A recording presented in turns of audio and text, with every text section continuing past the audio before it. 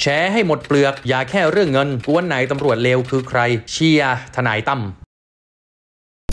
แม้แต่ทนายตั้มสิทธาเบี้ยบังเกิด ก็คงจะมีข้อมูลเรื่องนี้อยู่มากมาย ถึงขนาดรู้ว่านายพลตำรวจคนไหนมาหาชูวิทย์เอาเงินมาให้เท่าไหร่ให้ที่ไหนอย่างไร ดังนั้นทนายตั้มนายสิทธาเบี้ยบังเกิด น่าจะแฉให้หมดเลย เหมือนที่นายชูวิทย์ออกมาแฉใครคือคนเลวตัวจริง ใครเป็นนายพลตำรวจเลวแก๊งตำรวจแก๊งจีนสีเทากลุ่มไหนฝ่ายไหนที่ร่วมกันทำร้ายสังคมไทยทำร้ายประเทศไทยช่วยกันแฉให้หมดเปลือกเลยครับทนายตั้มเพื่อสังคมไทย ส่วนเรื่องคุณชูวิทย์แกก็ยอมรับอยู่แล้วว่าแกไม่ใช่คนดีเดอะไร เบื้องหน้าเบื้องหลังสังคมไทยก็รับทราบกันหมดแล้ว ที่เขาสนใจก็คือเรื่องราวที่นายชูวิทย์แกแฉออกมามากกว่า ทนายตั้มก็รู้ทุกอย่างหมดแล้ว แฉออกมาให้หมดไส้หมดพุงแฉให้หมดเปลือกกันเลยครับตำรวจเร็วๆ จะได้หมดไปจากสังคมไทย จากวิวาทะระหว่างทนายตั้มสิทธาเบี้ยบังเกิดเลขาธิการมูลนิธิทีมงาน ทนายประชาชน และนายชูวิทย์กมลวิสิทธิ์ปมประเด็นนายสิทธาเบี้ยบังเกิด หรือทนายตั้มทนายความชื่อดังโพสต์ภาพเงินสดก้อนบรรจุถุงกระดาษระบุว่าแฉไปไถไป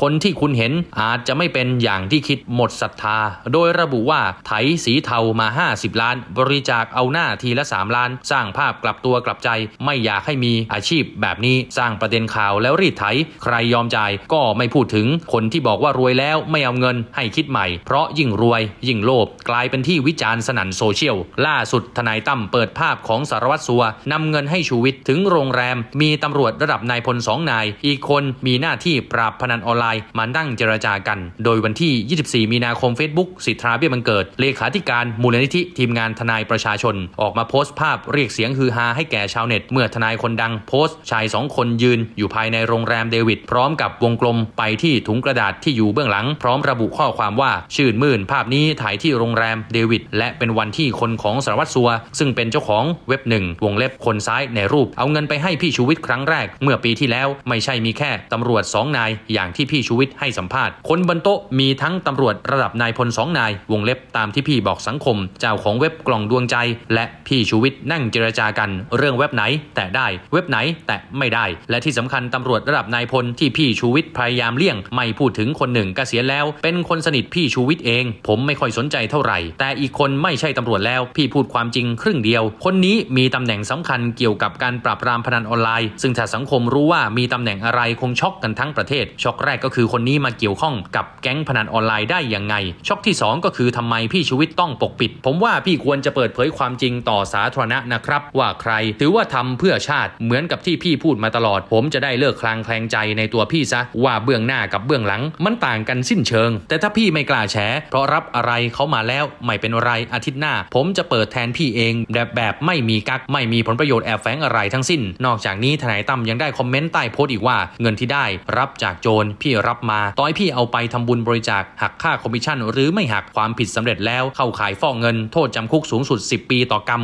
ต่างกรรมต่างวาระ รับไปกี่รอบก็คูณไปนะครับขณะที่ชูวิทย์กล่าวว่า เตรียมจะมอบหมายให้ทนายความดำเนินคดีต่อนายษิทราเบี้ยบังเกิด หรือทนายตั้มทนายความชื่อดังกล่าวหาว่ามีขบวนการทำลายล้างตน ลูกตน รวมถึงทรัพย์สิน พร้อมถามกลับนายษิทราว่าที่ออกมาเคลื่อนไหวทำในนามสารวัตรสัวหรือไม่ เพราะนายษิทราก็เป็นตัวแทนของเว็บพนันออนไลน์ เช่นเดียวกับสันธนะประยูรรัตน์อดีตตำรวจสันติบาลที่มักจะออกมาแสดงตัวเวลาตนแฉธุรกิจสีเทา หากเก่งจริง ต้องไปฟ้องศาลหรือแจ้งความไม่ใช่มาใช้สื่อออนไลน์เป็นเครื่องมือ ยืนยันว่าจะเคลื่อนไหวต่อต้านกัญชาเสรีของพรรคการเมืองพรรคหนึ่ง และการซื้อสิทธิ์ขายเสียงของนักการเมือง พร้อมยินดีขึ้นศาลส่วนการบริจาคให้โรงพยาบาลธรรมศาสตร์เฉลิมพระเกียรติและคณะแพทยศาสตร์ศิริราชพยาบาลมหาวิทยาลัยมหิดลนั้น ยืนยันว่าไม่ใช่การฟอกเงิน ในเมื่อตนรับกลับมาคืนให้เจ้าของ ไม่ได้ดำเงินไปซื้อหรือลงทุน ส่วนเรื่องที่ดินสุขุมวิทซอยสิบของตนที่เคยมีคดีความนั้นดำเนินการถูกต้องและเสียภาษีตามกฎหมาย เนื่องจากมีคนวางแผนให้โดนคดีความ แต่ตนไม่กลัว พร้อมกับติดต่อไป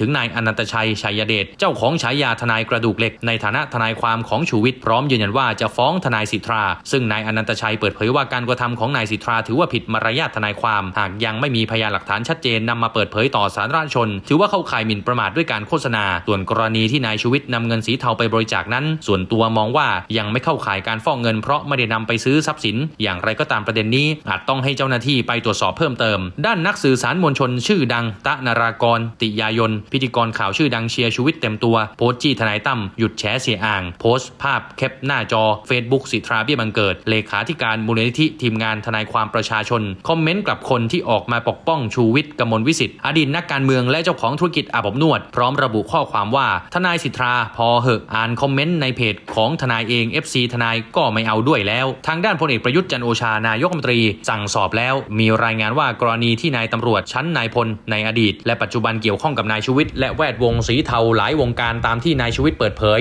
ในช่วงที่ผ่านมา ทราบว่าพลเอกประยุทธ์จันโอชานายกรัฐมนตรีได้สั่งให้ตรวจสอบรายละเอียดใหม่ทั้งหมดกับประเด็นที่นายชูวิทย์ร้องเรียนพัวพันหลายกรณี โดยเฉพาะเรื่องสำนักงานตำรวจแห่งชาติที่มีส่วนพัวพันกับประเด็นที่ชูวิทย์นำเสนอมากที่สุดเพราะ 4 ปีที่ผ่านมาพลเอกประยุทธ์กำกับดูแลสำนักงานตำรวจแห่งชาติโดยตรง ช่วงนี้อยู่ในช่วงยุบสภา การที่นายชูวิทย์แถลงข่าวหลายครั้งที่พาดพิงบางพัก เช่นพักภูมิใจไทยพักเพื่อไทย รวมถึงยังพาดพิงหน่วยงานอื่นๆ เช่น ปปช รอฟท รอฟมกรมที่ดิน จนสังคมเกิดความสงสัย และไม่สบายใจกับการบริหารงานของรัฐบาลและหน่วยงานที่เกี่ยวข้อง เพราะข้อมูลที่นายชูวิทย์นำเสนอออกมา ยังไม่มีการพิสูจน์ได้ ดังนั้นพลเอกประยุทธ์จึงประสานไปยังฝ่ายต่าง ๆ ที่ถูกนายชูวิทย์พาดพิง เร่งทำความเข้าใจข้อเท็จจริงกับสังคม เพื่อให้บรรยากาศการเลือกตั้งเป็นไปอย่างราบรื่น และภาพลักษณ์ของประเทศดีขึ้น รายงานข่าวยังระบุด้วยว่ายอมรับเรื่องนี้กระทบกับพลเอกประยุทธ์โดยตรง เพราะตอนนี้พลเอกประยุทธ์เป็นคนดิเดตนายกรัฐมนตรีของพรรครวมไทยสร้างชาติ หากยังไม่สามารถเคลียร์เรื่องนี้ให้กระจ่างยุติโดยเร็ว ย่อมไม่ใช่ผลบวกกับพลเอกประยุทธ์เพราะพรรคต่างๆ อาจนำจุดนี้ไปหาเสียงว่าพลเอกประยุทธ์บริหารประเทศมา 8 ปี แต่ปล่อยให้เกิดการทุจริตเกิดขึ้น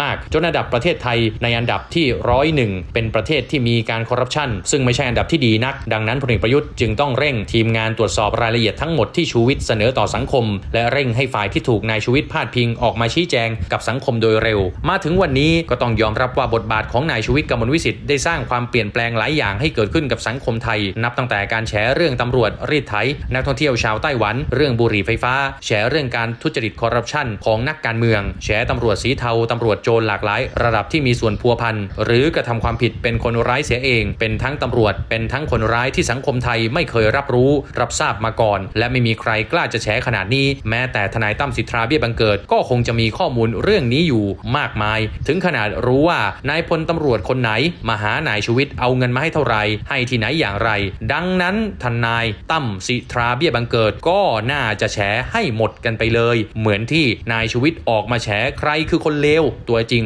ใครเป็นนายพลตำรวจเลวเลวแก๊งตำรวจเลวแก๊งจีนสีเทากลุ่มไหนฝ่ายไหนที่ร่วมมือกันทำร้ายสังคมไทยทำร้ายประเทศไทย อย่าไปสนใจ แต่เรื่องเงินที่ชูวิทย์รับมาและบริจาคให้โรงพยาบาลไปแล้ว และชูวิทย์ก็ยอมรับไปแล้ว ช่วยกันแฉให้หมดเปลือกกันเลยครับทนายตั้มเพื่อสังคมไทย ส่วนเรื่องไม่ดีของนายชูวิทย์แกก็ยอมรับอยู่แล้ว ว่าแกก็ไม่ใช่คนดีเดอะไร เบื้องหน้าเบื้องหลังสังคมไทยก็รับทราบกันหมดแล้ว ที่เขาสนใจก็คือเรื่องราวที่ชูวิทย์แกแฉออกมามากกว่า ทนายตั้มก็รู้หมดทุกอย่างแฉออกมาให้หมดไส้หมดพุงแฉให้หมดเปลือกกันไปเลยตำรวจเร็วๆ จะได้หมดไปจากสังคมไทยแฉคนมีอำนาจมีประโยชน์กับประเทศน่าจะมากกว่าแฉคนที่ออกมาแฉเพื่อประโยชน์ของสังคม สืบจากข่าวรายงาน